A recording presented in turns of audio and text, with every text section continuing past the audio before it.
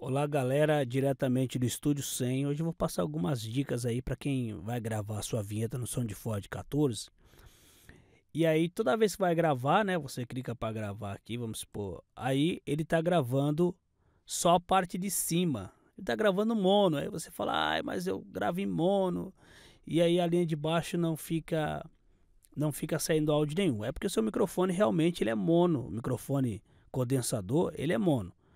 É, mas eu vou passar algumas dicas aqui para você fazer com que você já grave direto no mono e quando você transformar em estéreo, né, ele já ficar de um jeito é, sem você precisar fazer muita coisa, você precisar catar daqui e tudo mais. É, vamos supor, catar daqui, jogar para baixo, coisa parecida, né? Vou passar algumas dicas aí, vamos lá. É, uma das dicas que eu posso passar para você é que quando você gravar aqui, é, tipo assim, vai, não perca as ofertas especiais. Qualidade de verdade. Preço pela metade. Vamos supor que você gravou sua vinhetinha aí, né? E aí você pode. É, tem várias maneiras. Você pode clicar aqui em processos, né? É, tá vendo aqui, ó? É, Channel Convert. E aqui você pode apertar OK ele vai ficar nas duas faixas, em cima e embaixo. Você pode também clicar aqui em cima, clicar com o botão esquerdo do mouse e arrastar, colocar na linha de baixo e soltar. Você vê que ele vai dar a mesma coisa, né? Ó, tá vendo aqui? Eu vou dar o Ctrl Z. Ou você pode também, tá vendo aqui embaixo, estéreo aqui, galera, ó. Tá vendo aqui embaixo? Você pode também deixar ele mono, né? E depois deixar ele estéreo. Tá vendo? E aí ele vai ficar as duas faixas também. É, o que, que eu faço? Eu, por exemplo, particularmente, não faço desse jeito porque eu acho que. É, deixa eu ver aqui. Não, não vou salvar. Eu faço assim, vamos supor. Eu clico aqui no File e clico aqui em New ou Ctrl N. Quando você faz isso, o que, que acontece? Aqui dá a opção é, de toda vez que você abrir um projeto, ele vai é, dar a opção para você gravar ou em estéreo ou em mono. Como meu microfone condensador, minha placa DM áudio, então eu gravo em mono, eu é, particularmente deixo já em mono e quando eu transformar em estéreo fica mais fácil para não gravar a linha de cima e a linha de baixo. Então vamos supor, você cata aqui no seu projeto e você fala assim: "Ah, eu quero vou gravar em mono". Não é que vai ficar em mono, você vai deixar ele em estéreo. Então vamos lá. Aqui você pode deixar do mesmo jeito, não precisa mexer em nada e aqui também não precisa mexer em nada. Você vai dar OK. O que vai acontecer agora? Toda vez que você abrir um projeto, você clicar para gravar, ele já vai gravar em mono. Entendeu? Então, que que qual é a dica que eu dou para todo mundo? Quando você clica aqui em, em File, né? E você clica ou Ctrl N, tá vendo aqui, ó? Você, ele vai estar tá gravando em estéreo. Ah, mas eu quero gravar em mono, porque por que, eu, eu particularmente prefiro gravar em mono e depois transformar em estéreo, porque fica melhor, né? Do que você catar para cima, colocar para baixo, né?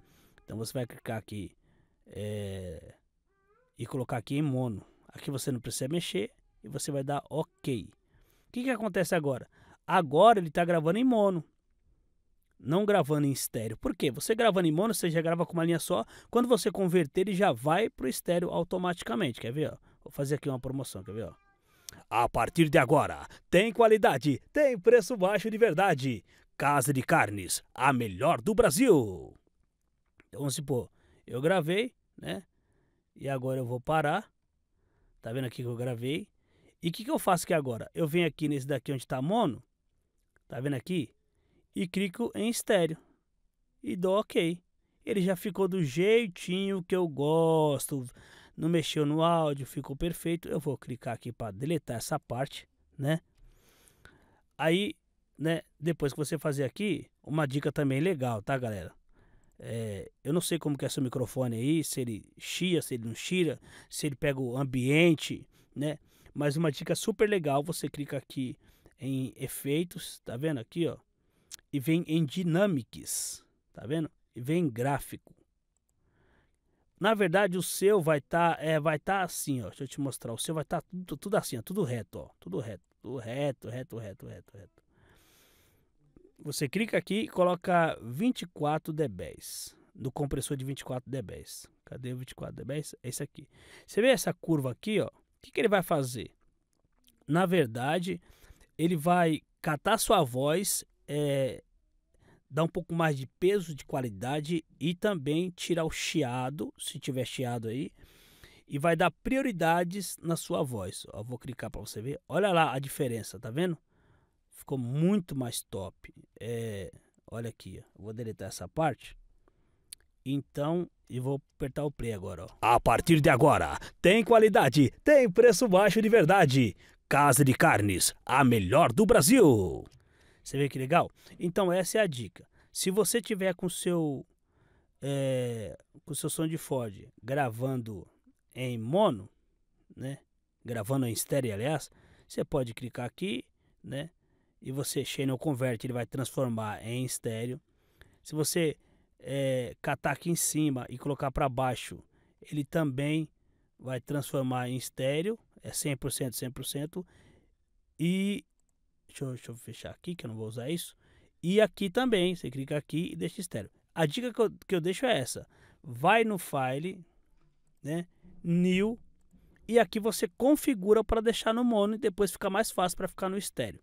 Tá bom, galera? Se você gostou dessa dica, deixe seu comentário. Tiver alguma é, é, pergunta sobre o som de Ford, eu vou estar fazendo sempre tutorial dando umas dicas aí, tá bom? Obrigado aí por ter ouvido esse vídeo. Se você gostou da dica, deixe o seu like, compartilha e até o próximo vídeo. Fui!